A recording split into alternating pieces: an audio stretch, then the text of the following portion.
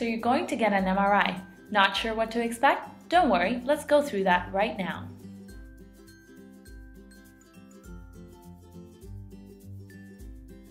Step 1. Make sure you don't wear any metal accessories to the hospital.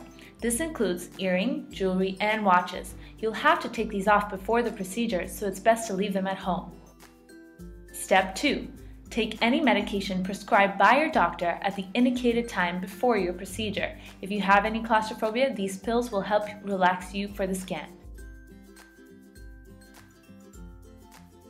Step 3. Entering the machine. The MRI looks like a big donut, and you'll be laying down in the middle of it for a while.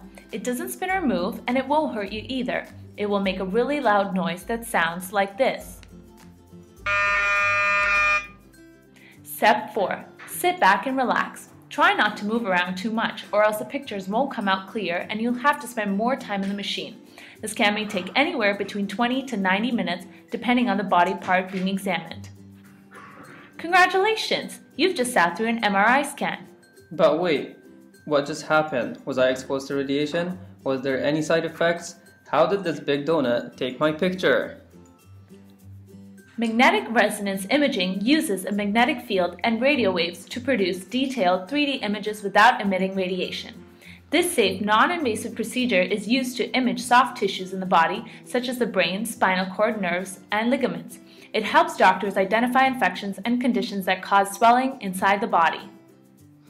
But how does the MRI work?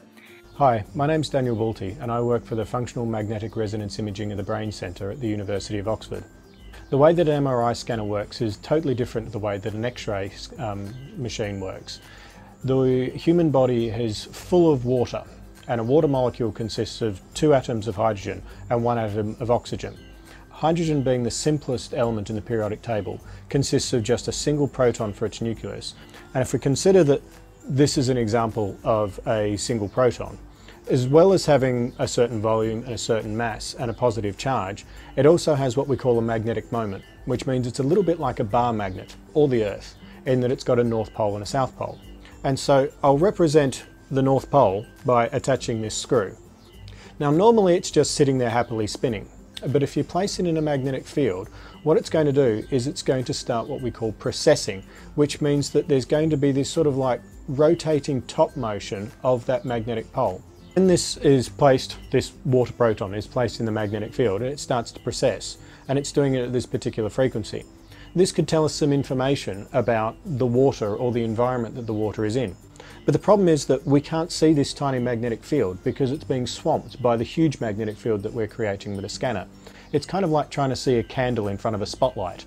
The small light is just completely overwhelmed by the large light. But what we can do is by applying a second magnetic field, which is perpendicular to the main field, the proton is going to want to try and precess around that as well. But if we apply a very small field, it's going to precess quite slowly. And so we apply the field for a short period of time and it will tip over a little bit. And if we then turn the field off just as it gets to that point, this proton is now going to continue to spin around the large field. And now with a large field vertical and this in a different plane, we can put a detector out to the side and we can see this rotating magnetic field. And it's going to be rotating at that very special frequency.